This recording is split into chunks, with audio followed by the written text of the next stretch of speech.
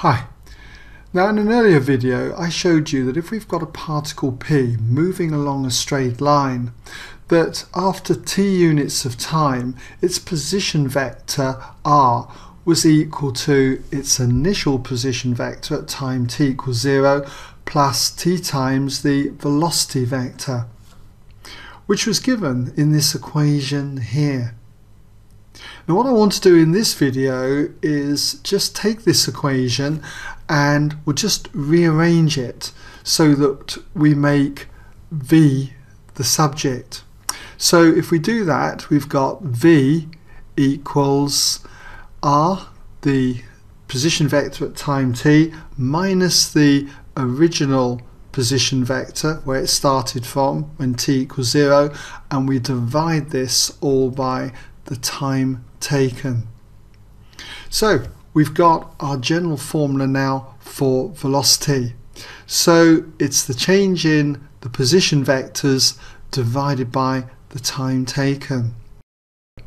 We'll just do an example using this particular idea.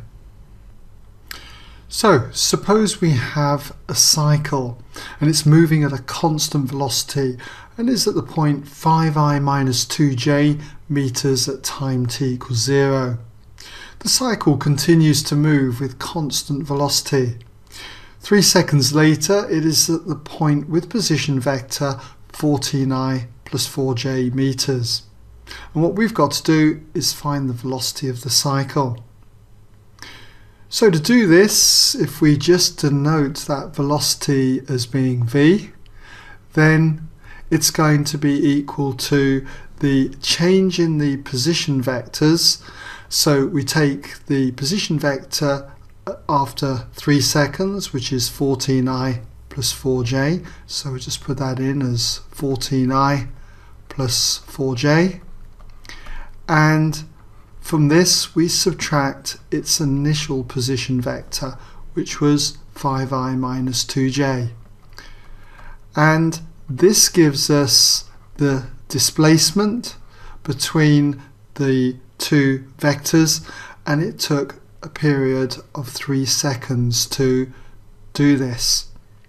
So we divide by 3. If we simplify this now, what we've got is 14i minus 5i, so that's going to be 9i. And then for the j components, we've got 4j minus minus 2j, so it's going to be plus 6j. And that's divided by 3.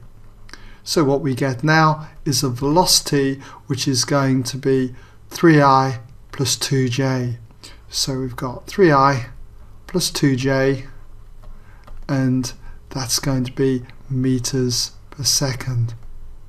So I hope that's given you an idea then how we can go about finding velocity as being the change in the position vectors divided by the time taken.